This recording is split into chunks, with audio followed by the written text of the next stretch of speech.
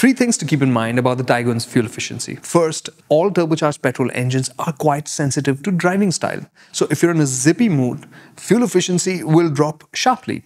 But if you drive with a light and sensitive foot, that number will climb quickly as well. Second, the 1 liter petrol engine.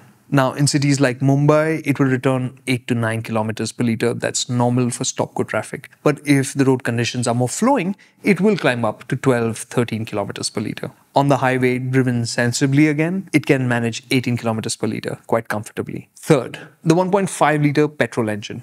Now, this has more reserves of performance on offer and it has more sophisticated technology like cylinder deactivation and dual clutch transmission as an option, which means it ends up being more fuel efficient in stop go traffic. And out on the highway, it can match the one liter comfortably as well.